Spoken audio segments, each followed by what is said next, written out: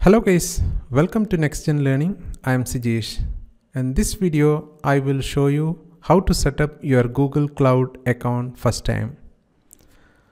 So open your browser and I always recommend to open in incognito mode.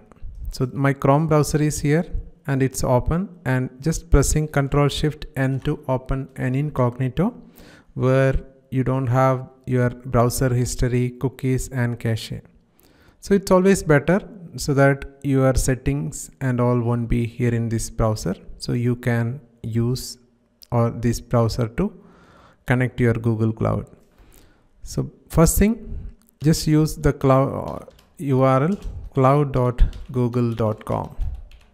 So in browser you have to type this URL cloud.google.com and you will be getting a page like this okay so this is uh, Google, one of the Google uh, region data center and you can see that. And what you have to do here is from the top so there is an sign in option. Just hit that button to sign in so since we are doing it the first time so you can use your Google credential. So I have my ID like uh, this is my uh, Google ID and uh, whatever the credential I can copy and paste it here. Okay so I have enabled the two-step verification process and it will ask me to verify from my mobile device. So I have to uh, uh, allow from my mobile device. Then only it will authenticate so you have to open your uh, mobile device and from there you have to approve that request. So this is not uh, specific to this Google Cloud environment. This is one of the uh, feature or additional security which I set for my uh, ID. Okay, and you can go to this uh, console. So you will be uh, reaching a console like this.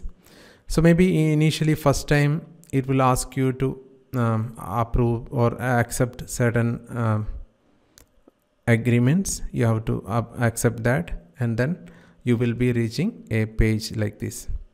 The next step so in order to get this uh, $300 uh, free credit what you have to do is you have to register with your um, credit or debit card in billing. So go to this billing part.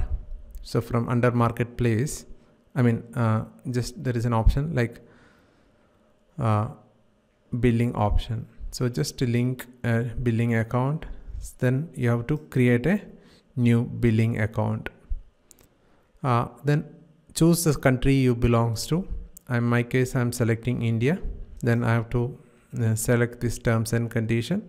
So then once that is approved, uh, then I can go next by continuing I mean the pressing continue button. And uh, here so you have to fill uh, certain details like uh, what type of user it's an individual or corporate ID then uh, our uh, tax information uh, then your PAN card or TAN number then GST registration number if anything. Then have to add your name and address so by default whatever the uh, name and address you have given in uh, google account will be here. And uh, the next you need to add your card details here okay? Then it will be charged this bill to your account. Then after this 300 uh, uh, trial period.